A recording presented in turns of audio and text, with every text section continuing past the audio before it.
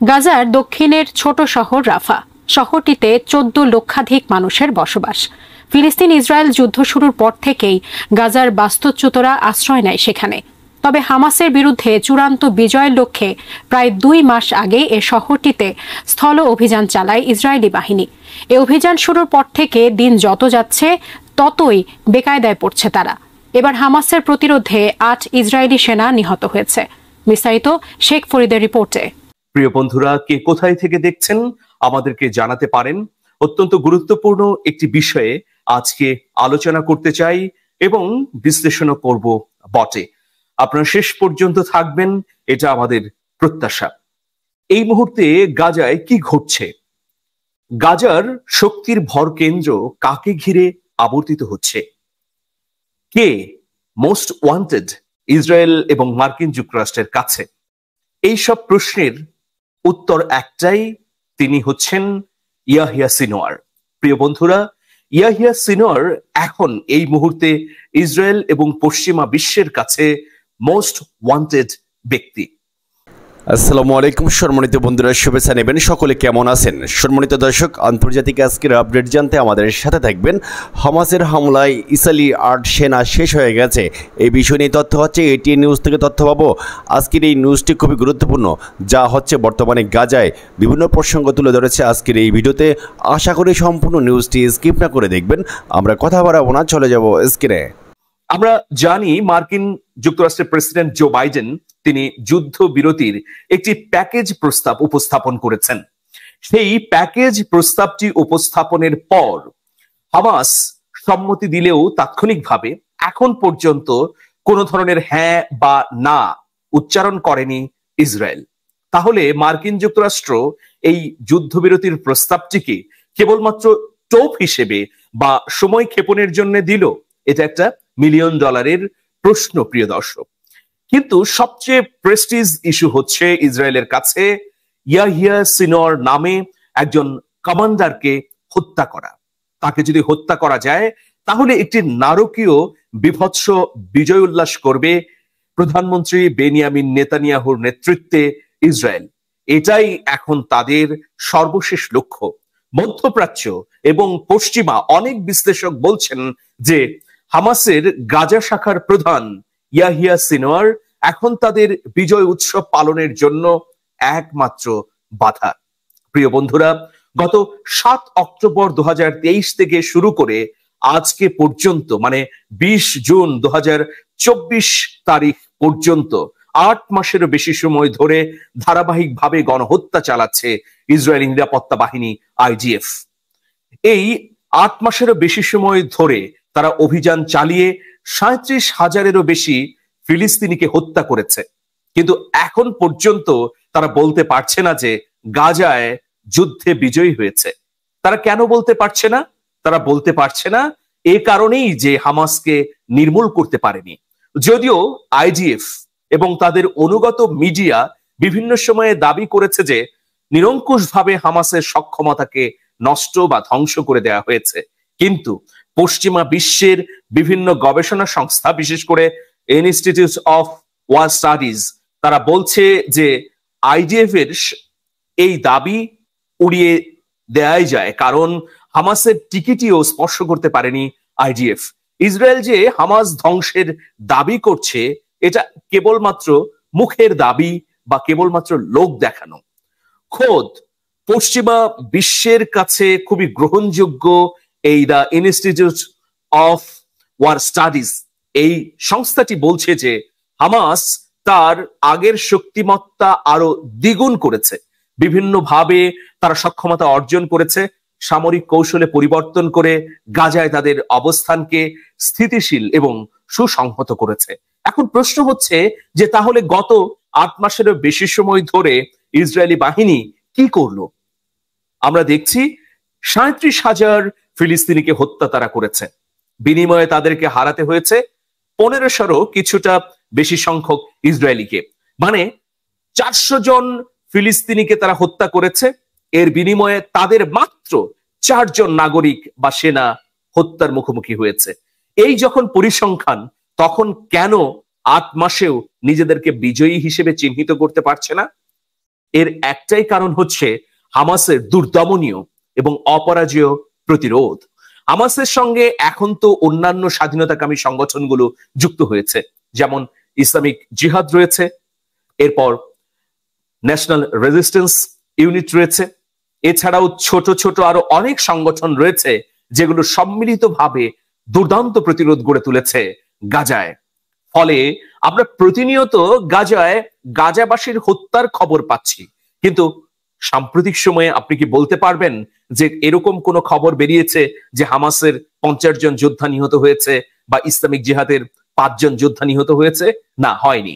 শুধুমাত্র আমরা খবর পেয়েছি যে ইসরায়েলি বাহিনীর হামলায় অমুক ত্রাণ শিবিরের, অমুক শরণার্থী শিবিরের বা অমুক হসপিটালের এত এত সংখ্যক মানুষ নিহত হয়েছে। তার মানে ইসরায়েলি নিরাপত্তা বাহিনী আইডিএফ হামাসের মূলে আঘাত করতে পারেনি। এখন তাহলে হামাসের মূলকে এই মুহূর্তে গাজায় যিনি হামাসের নেতৃত্ব দিচ্ছেন, তিনি হচ্ছেন ইয়াহিয়া সিনোয়ার। প্রিয় বন্ধুরা, বাষট্টি বছর বয়সী এই কমান্ডার, তিনি তার পূর্ণ শক্তিতে, পূর্ণ কৌশলে গাজায় এখনও অটুট রেখেছেন হামাসের দুর্দমনীয় বাহিনীকে। কিছুদিন আগে আমরা দেখলাম যে ইসরায়েল এবং পশ্চিমা বিশ্বের সমর্থিত মিডিয়াগুলো বলছে যে ইয়াহিয়া সিনিয়র সম্ভবত টানেলের ভেতরে মারা গিয়েছেন। কিন্তু এই দাবিকে উড়িয়ে দিয়ে, নাকচ করে দিয়ে এখন থেকে এক মাস আগে ইয়াহিয়া সিনিয়র গাজায় প্রকাশ্যে আসলেন। তিনি যোদ্ধাদের উদ্দেশ্যে অনুপ্রেরণামূলক ভাষণ বা বক্তৃতা দিলেন। তাহলে প্রশ্ন হচ্ছে যে, ইসরায়েলি বাহিনী যে দাবি করছে যে প্রত্যেকটি টানেলে তারা ঢুকেছে টানেলকে ধ্বংস করেছে, হামাসের সক্ষমতা একদম নিঃশেষ করে দিয়েছে। তাহলে সিনোয়ার কোথায় থাকেন? কীভাবে বের হলেন? আর কোথায় বা আছেন? মধ্যপ্রাচ্য এবং পশ্চিমা বিশ্লেষকরা বলছেন যে ইয়াহিয়া সিনোয়ার তিনি গাজার অভ্যন্তরেই টানেলের মধ্যে রয়েছেন। কোন না কোনো সুরঙ্গের মধ্যে থেকে তিনি যুদ্ধকে পরিচালনা করছেন। যে কারণে একটা পরিসংখ্যানে দেখা যাচ্ছে যে প্রতিদিনই দশ থেকে বিশটি ইউনিট প্রতিরোধ সংগ্রামে লিপ্ত হচ্ছে ইসরায়েলি বাহিনীর বিরুদ্ধে। এখন কোন কোন বিশ্লেষকের দাবি যে ইয়াহিয়া সিনোয়ার সম্ভবত সুরঙ্গ দিয়ে সিরিয়া বা লেবাননে চলে গেছেন, কিন্তু আবার অনেক বিশ্লেষক এটা উড়িয়ে দিয়েছেন যে ইয়াহিয়া সিনোয়ার গাজার অভ্যন্তরেই রয়েছেন এবং রয়েছেন টানেলের ভেতরে।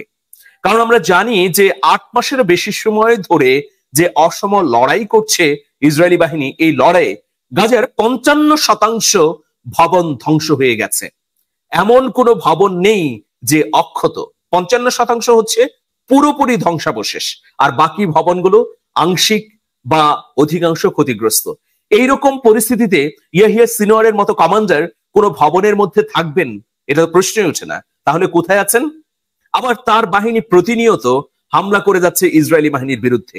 তাহলে এই বাহিনীকে সুসংগঠিত করা, ইউনিটগুলোকে গাজার বিভিন্ন অঞ্চলে পাঠানো, তাদের সমরাস্ত্র দেয়া অর্থনৈতিকভাবে মজবুত রাখা। এই কাজগুলো কে করছেন?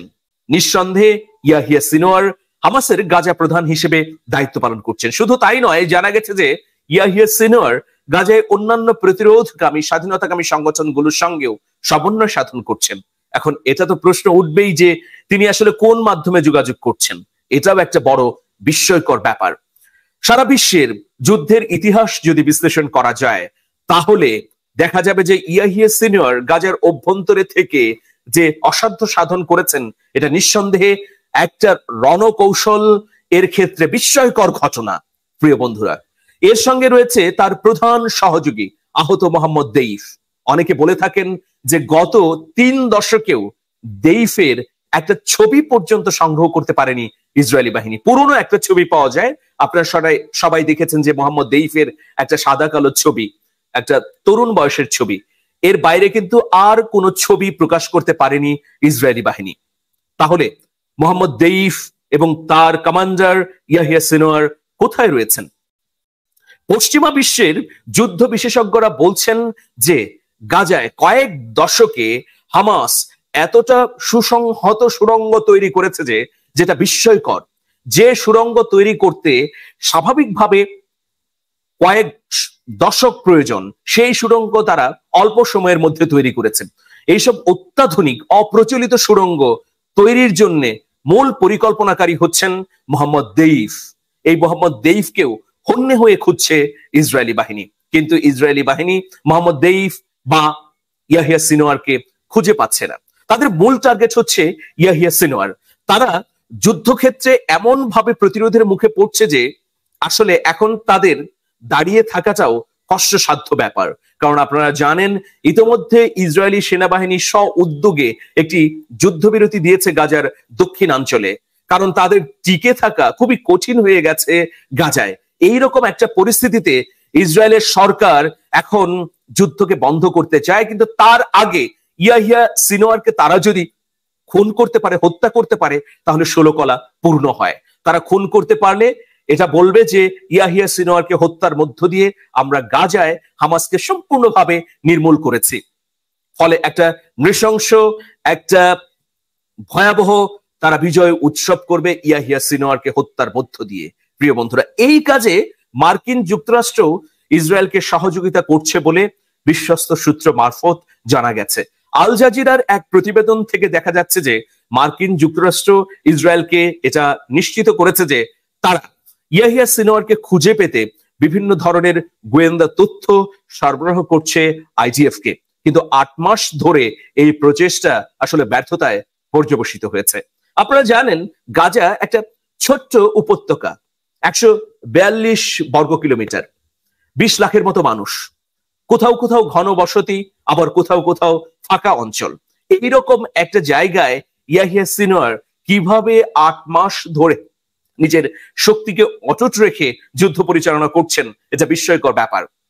প্রিয় বন্ধুরা, এই ইয়াহিয়া সিনোয়ারই কিন্তু operation flood of Al Aqsa, যে অপারেশনটি সাত অক্টোবর পরিচালনা করেছিল হামাস, তার মূল পরিকল্পনাকারী।